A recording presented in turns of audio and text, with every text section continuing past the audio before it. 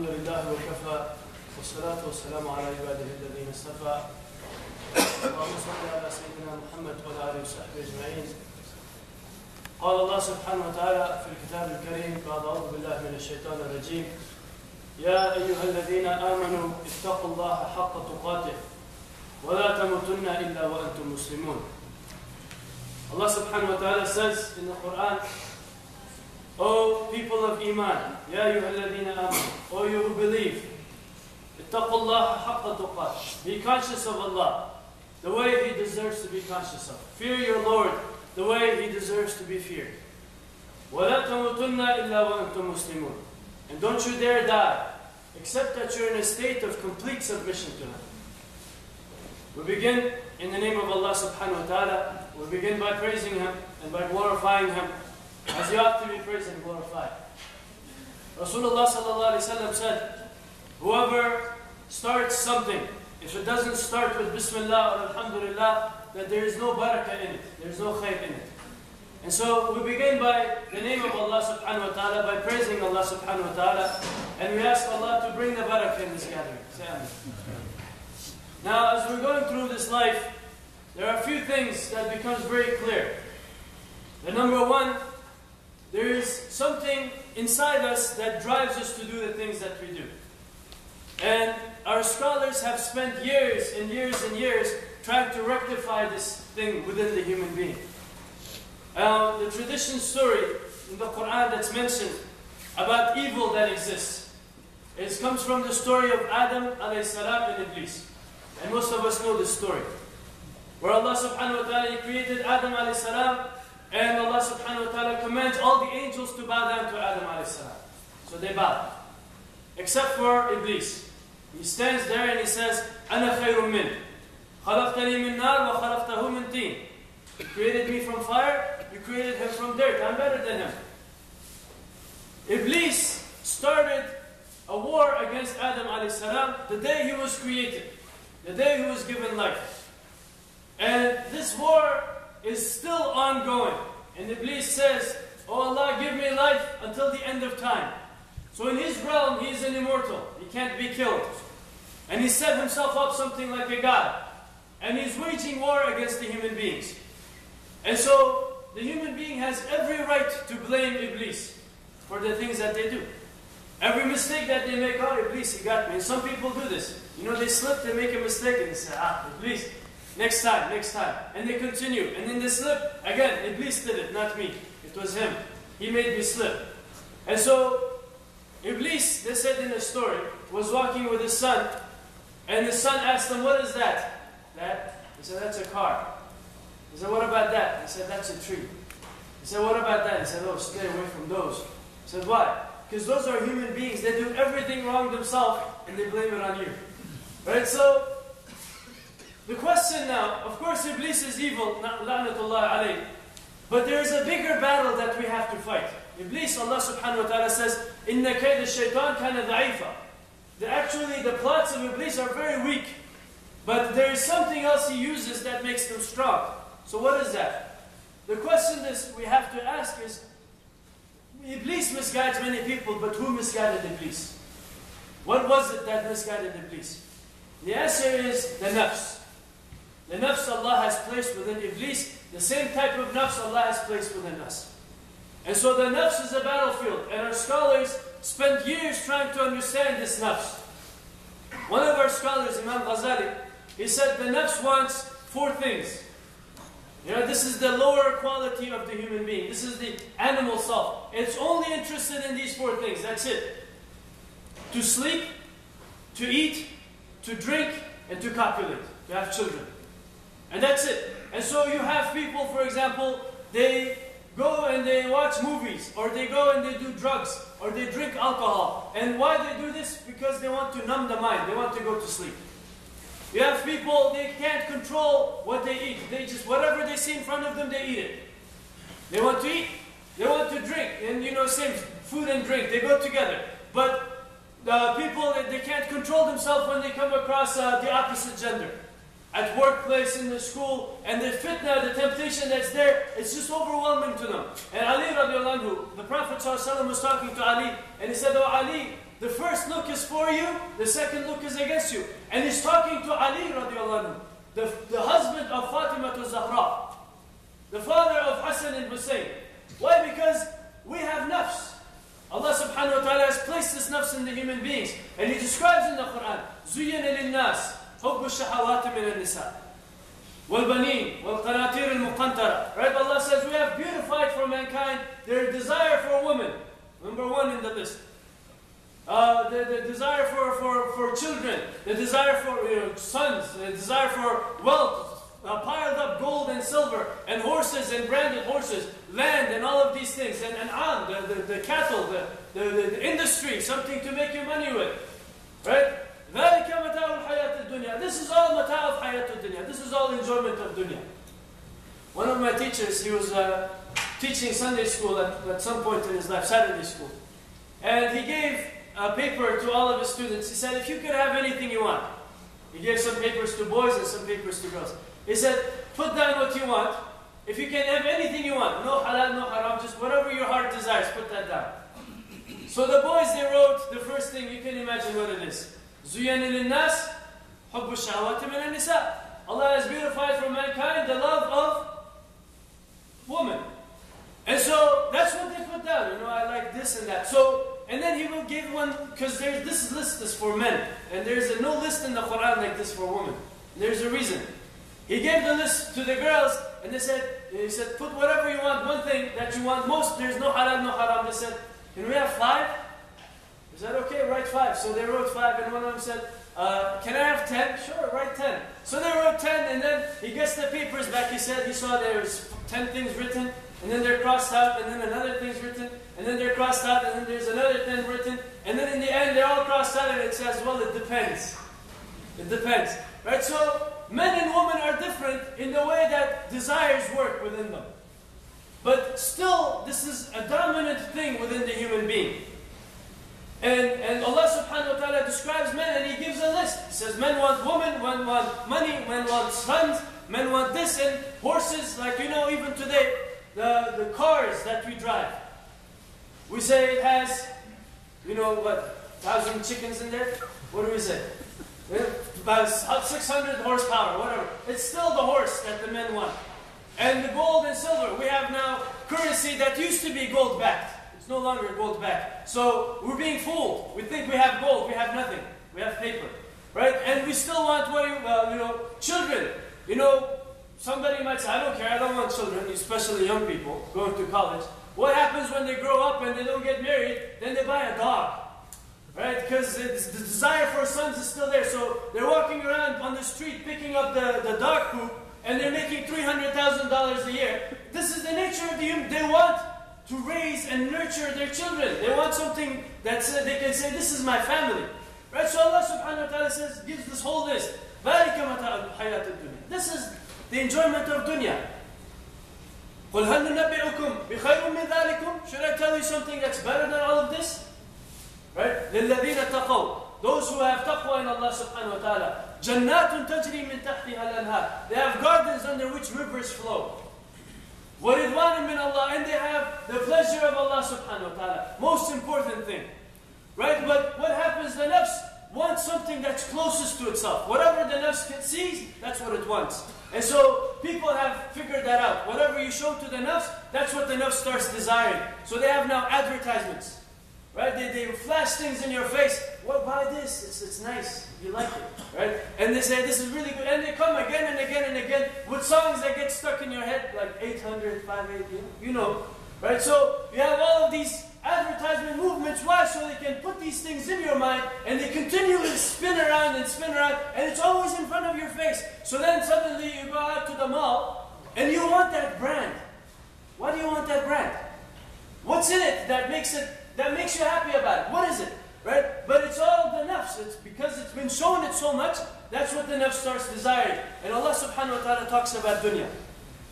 He says the dunya, Allah says, بَلْ تُحِبُّونَ الْعَاجِلَةِ You want what's in front of you. وَتَذَرُونَ الْآخِرَةِ And you leave what is far away. Right? And Allah is making a sales pitch. Shaitan is making a sales pitch. Shaitan says, you can have all of this right now. How about it? Allah says, hold your horses, don't go too far into it. You can enjoy a little bit of it, but if you control yourself here, I have something better for you there. You have to trust me.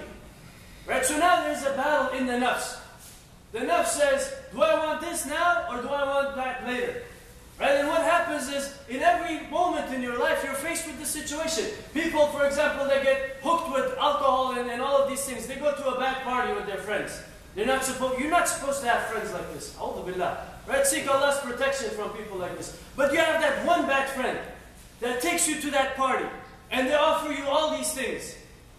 And right there, there's a battle in the nafs. Should I go for this? Should I not go for this? They invite you. Let's smoke with us. It's just one puff. Nothing bad's going to happen to you. You're not going to get hit by a lightning bolt. Right? And it's a, it's a battle in the nafs. Do I want this now? Or do I want to wait for the akhirah?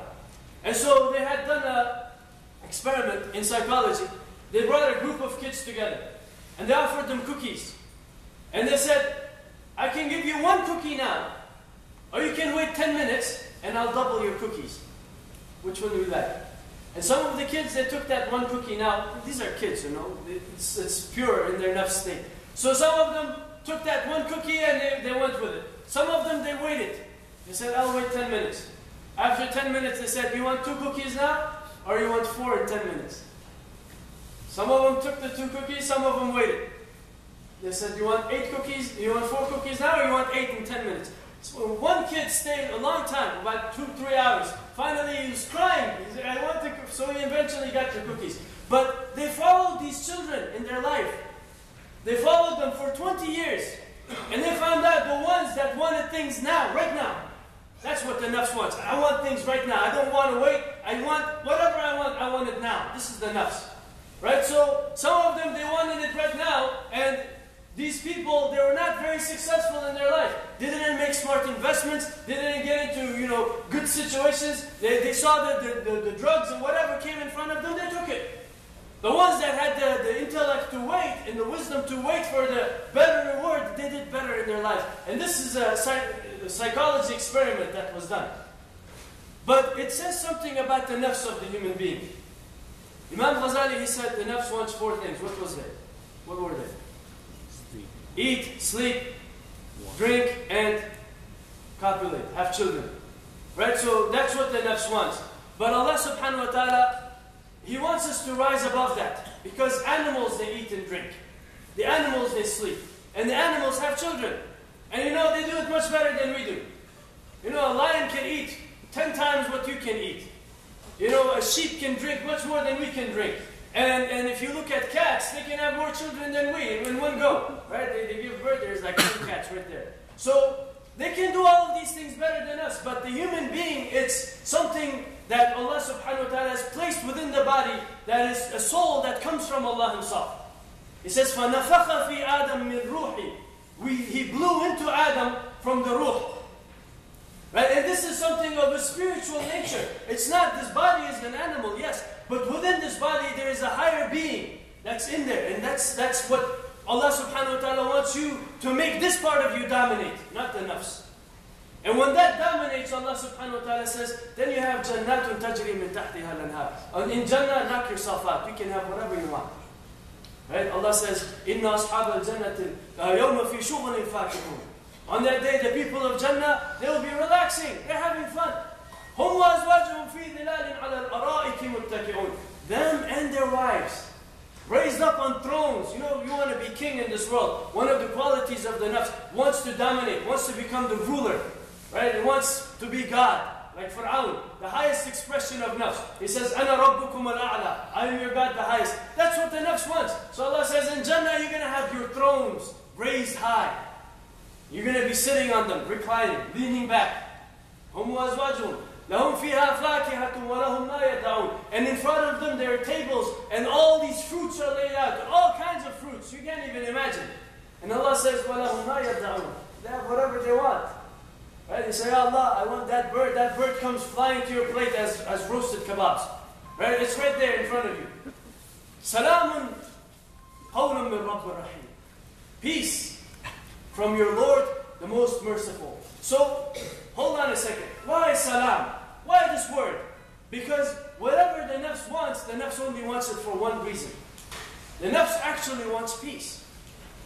Whatever, you know, you ask a robber, why did you rob the bank? He says, I wanted money. Why do you want money? I want to be able to buy things. Why do you want to buy things? So I can have peace in my heart. Somebody wants to get married. Why do you want to get married? Because, uh, you know, I have all these temptations, this and that. Why do you? Because I, I want peace. And ultimately, that's what we want. And Allah subhanahu wa ta'ala says, in Jannah, I'll give you that. And not, not just in Jannah. If you go the path of Allah subhanahu wa ta'ala and you follow the teachings of Allah subhanahu wa ta'ala, Allah says, Allah bi With the remembrance of Allah, your hearts will find peace. And you know, Allah subhanahu wa ta'ala talks about the nafs. He says, nafs is of three types. I'm going to conclude with this inshallah. First one, nafsul ammaratu su'.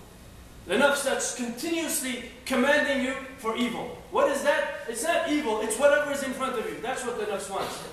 But what happens, that nafs starts receiving revelation, starts opening up to knowledge, and then the nafs starts to learn. So what happens? The nafs changes. And Allah swears by this nafs because it's so important. Right? Some people want to kill this nafs, but it's very important. Nafsul lawwama. What is that? The nafs that continuously blames itself. Right now you have like self-help pro programs and everything. Somebody kills a person and they go to the self-help and they say, just accept yourself. It's okay. You're not bad. Everything is fine. If the nafs blames itself, let it blame itself. Why? Because by blaming yourself, you're going to fix yourself. By looking at yourself and say, man, I need to work on myself. This is messed up what I'm doing. If you let that happen, that's going to take you out from this darkness. But if you shut this down, you're going to stay in that darkness. Nafsul lawama. And when you go through nafsul lawama, the scholars they said it's a constant cycle of sinning and repenting, sinning and repenting. You go out of your sin, you say, oh Allah, I messed up, and you slip. Why? Because it's a habit you've built up for a lifetime. And you slip and you come back, you slip and come back. Finally, when you get out of it completely, Allah subhanahu wa ta'ala says, Nafsul mutma'inna. This is a nafs that have attained peace. Nafsul mutma'inna. You want to have nafs that attain peace, right? You want to be nafsul mutma'inna? That's the key. Allah says, أَلَا بِذِكْرِ اللَّهِ تَطْمَئِنُّ الْقُلُوبِ Conclude with this. أقول قولي هذا أستغفر الله لي ولكم فاستغفروه إنه هو الغفور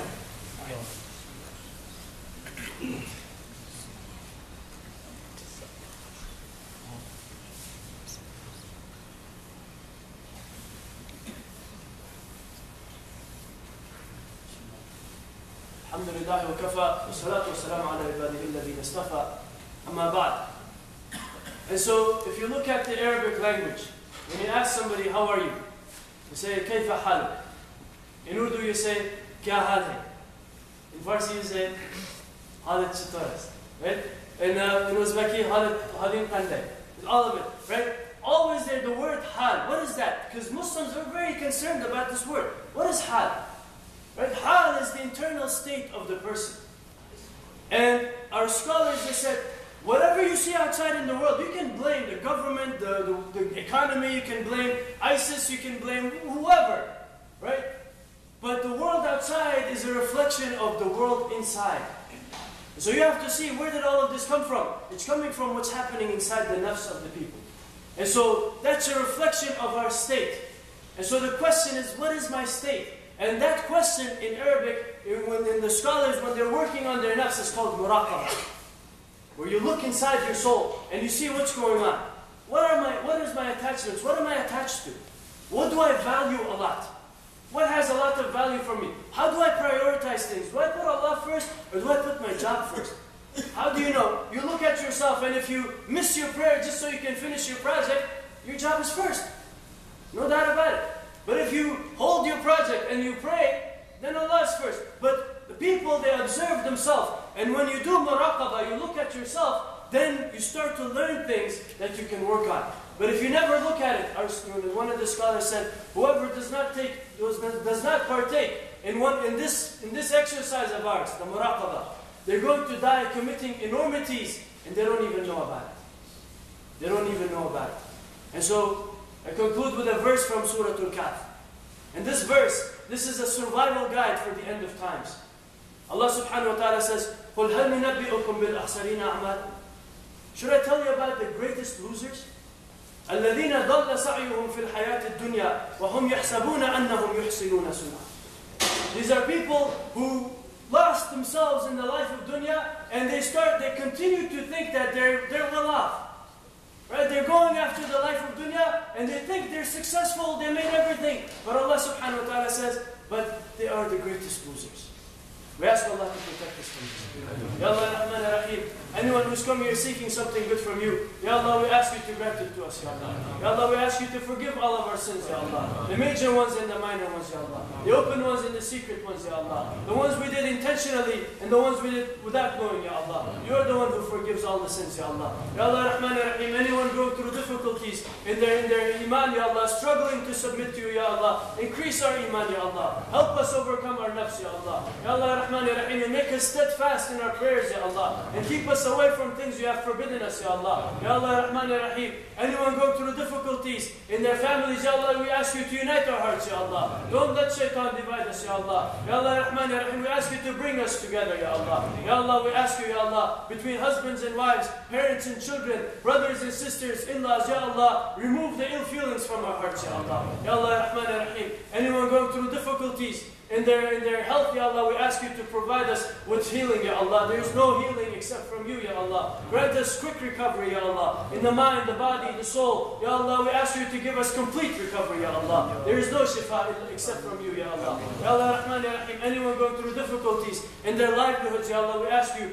to pay off our debts, Ya Allah. Provide for us halal and tayyib rizq, Ya Allah. And keep us away from the haram rizq, Ya Allah. Ya Allah, Rahman, Ya Rahim. And don't make us dependent on the mercy of anyone other than you, Ya Allah. Ya Allah, Rahman, Ya Rahim, and free us from the slavery of interest and riba, Ya Allah. And we ask you, Ya Allah, enter all of us in Jannah, Ya Allah, hand in hand, Ya Allah, and protect all of us and our loved ones from hellfire. وآخر الدعوانا أن الحمد لله رب العالمين وصلى الله على سيدنا محمد وعلى آله وصحبه أجمعين وأقيموا الصلاة